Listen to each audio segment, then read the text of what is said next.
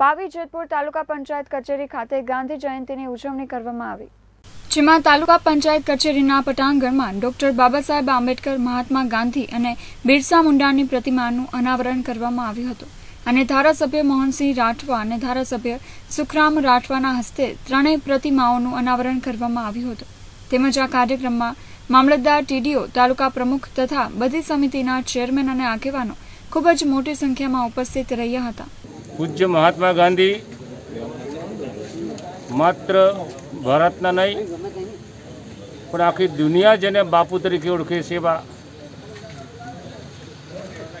બાપુજીની મૂર્તિનો અનાવરણ પ્રસંગ, સાથે સાથે બિરસા મુંડાની મૂર્તિનું અનાવરણ, ભારતના બંધારણના ઘડવૈયા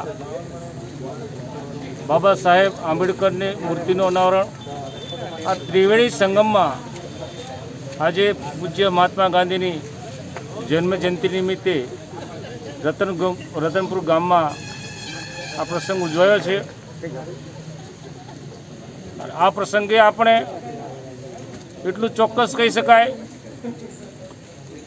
કે બાબા સાહેબના વિચારો, પૂજ્ય મહાત્માજી ગાંધી બાપુના વિચારો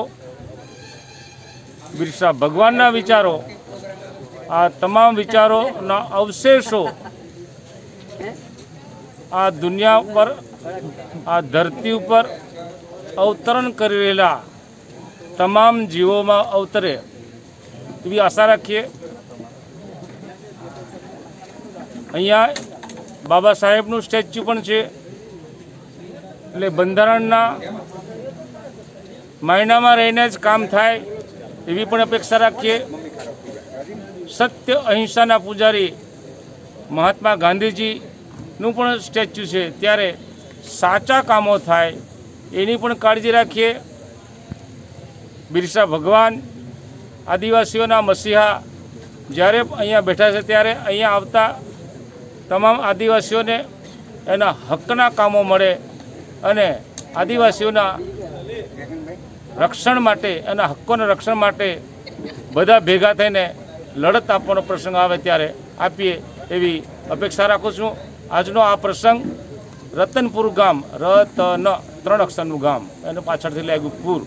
એમાં ત્રણ મહાનુભવોનું જ્યારે મૂર્તિનું અનાવરણ થયું છે ત્યારે આ પાઈ જેતપુર તાલુકાની પાઈ જેતપુર જિલ્લા ચોડાપુર જિલ્લાની પ્રજાને હું ગાંધી જયંતિના અવસરે ખૂબ ખૂબ અભિનંદન પાઠવું છું.